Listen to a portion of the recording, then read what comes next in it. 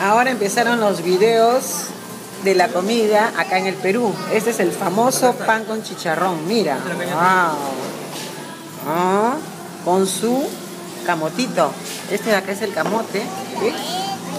Amarillo.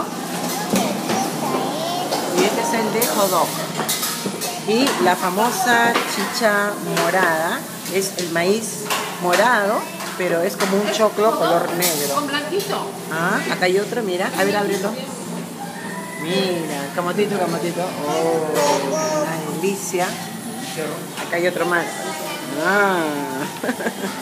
Estos son buenos niños. ¿Ah?